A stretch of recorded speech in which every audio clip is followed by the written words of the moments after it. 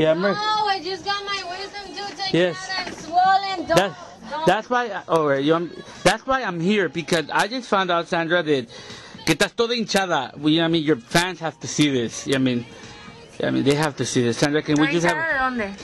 del cachete? No, Smoochy. Ándale, come on, just do it for the Look. fans.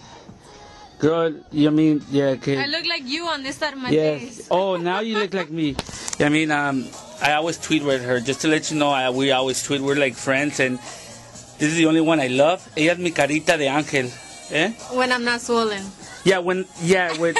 yeah. I mean, can you just take that gum that you have in there and ese cachete off? I wish. I wish. It's been four days de puro sufrimiento. Wow.